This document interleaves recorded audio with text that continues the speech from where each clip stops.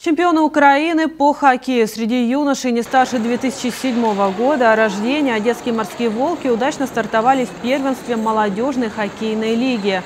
Подопечные Олега Маюка в Харькове дважды обыграли местный Дюсшор. Сначала 7-1, а затем 3-2. Шайбы за одесситов забрасывали привычные лидеры. Виталий Ульянов, Ефим Саханевич, Даниил Жук, Владислав Бомазюк, а также новички команды Дмитрий Зубко, экс-игрок хоккейного клуба Киев и Ренат Алексейчук, который в прошлом сезоне выступал за Днепровских Ягуаров 2008 и стал одним из лучших бомбардиров турнира.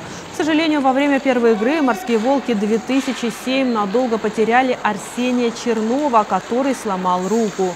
Следующие матчи чемпионы страны проведут снова в Харькове, на этот раз против Сдюсшоры-2. А уже потом ожидаются матчи в Одессе против Днепра, Кременчуга и Донбасса.